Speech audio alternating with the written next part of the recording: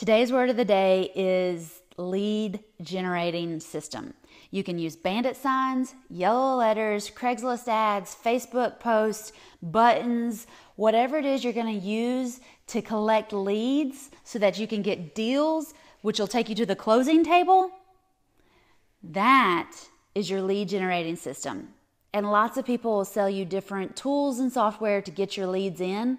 I've got six different ways to find off market properties that I'll teach you in my program. The most important thing is that your lead generating system keeps your pipeline full so that you're constantly buying houses, flipping houses, selling houses, buying apartments, whatever it is you want to do, however you want to get these leads in, make sure your lead generating system is up to date and working for you.